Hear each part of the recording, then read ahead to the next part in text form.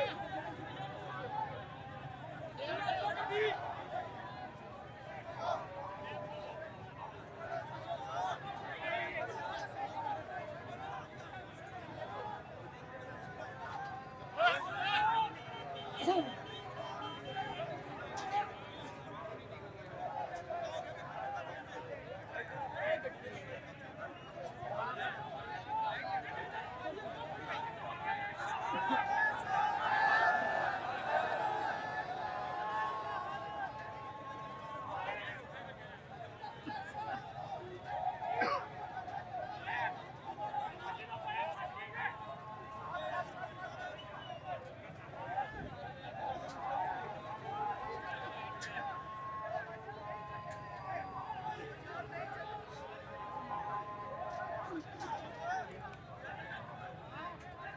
नाजिन अमीर बलाज जो कि रात को जिनको अपने दोस्त की शादी पे कत्ल कर दिया गया, उनकी आखिरी रसूमात के लिए यहाँ पर हज़ारों की तादाद में लोग और चाहने वाले मौजूद हैं।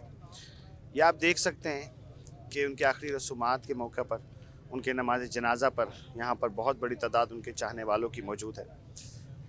जो कि अपने दोस्त, अपने प्यारे, अपने भाई, अपने बेटे, उसकी आखिरी रसूमात अदा करने के लिए यहाँ पर मौजूद हैं। उनके जिसद खाकी को अभी कुछ देर में यहाँ से बाहर लेकर आया जाएगा।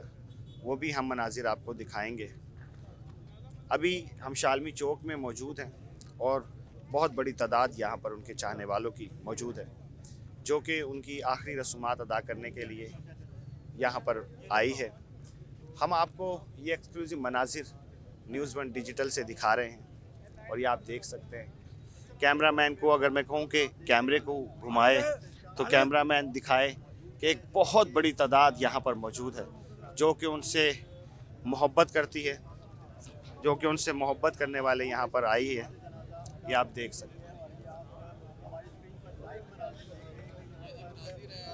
और नाजिन, अमीर बलाश टीपू, जिनको रात को, जिनका मर्डर कर दिया गया था उनको यहाँ पर, उनकी आखिरी रसूमात के लिए यहाँ पर हज़ारों की तादाद मौजूद है। और ये आप देख सकते हैं नाजिन अमीर बलाज टीपू का जिसद खाकी तदफीन के लिए बाहर लेके आया जा रहा है।